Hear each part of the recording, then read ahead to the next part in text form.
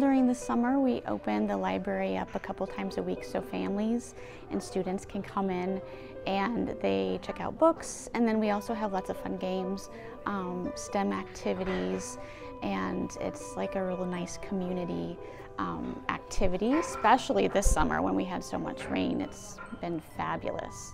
The ladder was borrowed from a neighbor and would definitely need to be put back before anyone noticed. Some kids come in and they find a spot to sit and they start reading immediately. And then sometimes the really little kids come in with the parents. They'll be a toddler age and they're really getting that love for learning and they come in for story time. About 10 o'clock I sit down and I have a couple of stories I read to the kids.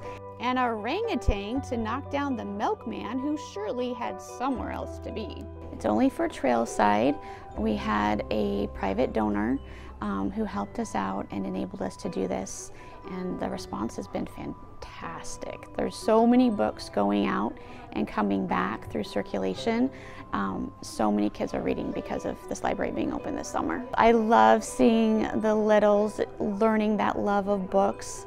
And then I also love seeing the students bike here, get a backpack full of books, um, and exchange them, take the new ones out, and everybody's smiling and so happy. I have parents coming from uh, all the nearby elementary schools, Bowman, uh, several other places, and they would love to have this at their own school library. It's so nice having a place for the kids to just come and do something that's outside of, you know, being on the playground, just something with their hands, listening to books, story times, being with all the kids. It's just a really wonderful way to have something to change up your schedule and just have a happy place to be. We're so thankful to Bob Services LLC for making this possible, as well as Barnes & Noble and Walmart.